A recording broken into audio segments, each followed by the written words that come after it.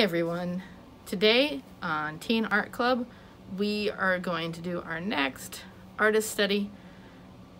This month, we're going to do Georgia O'Keeffe.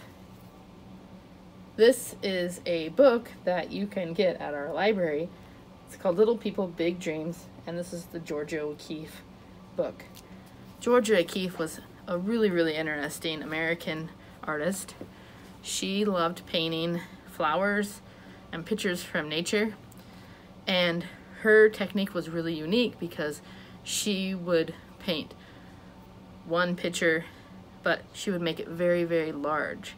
So there might be one single flower on the piece of paper, and it would go over the sides of the paper, and it might make you wonder, oh, I wonder what that might be.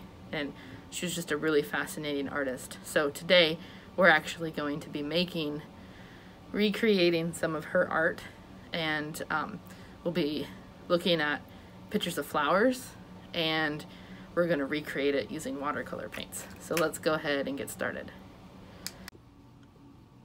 Okay, so we're back. Um, for this project you're going to need water watercolor paints, um, you need a paintbrush and some water. Go. Okay. Um, I'm going to start by sketching. Uh, I have a picture of the flower I'm going to paint. And remember, we need it to fill this whole entire piece of paper. So, I'll get started here.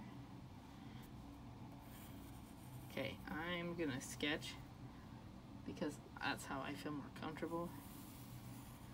So I'm gonna get started here with like the center of the flower. And then here on the edges, so I got a picture of a flower here. That's what it's gonna, I'm gonna try to make it look like. Then I'm to do the outer petals. We want some of them to go off the page.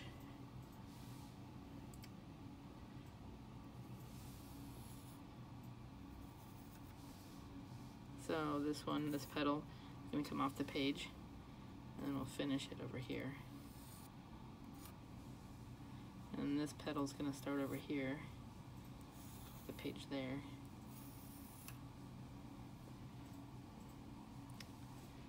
Think we can make this petal right there. Okay. So I'm gonna get started with some watercolor paint. I'm gonna do start with red. I'm gonna get it really wet. Just gonna start painting our red flower.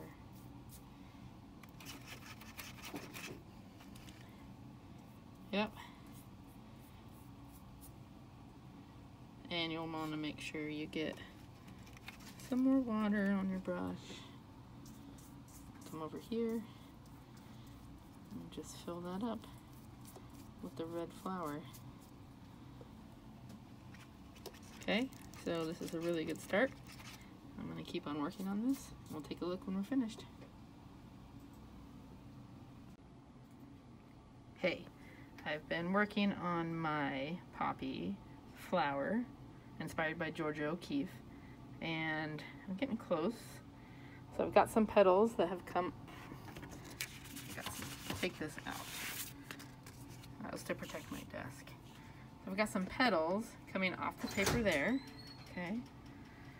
And then I'm working on this center part. That's what it's going to look like. Okay. So use kind of red and mix that around. This color in the middle, it's really dark, kind of a purple dark. So I've got purple and some black that I'm working on. So I'm gonna continue.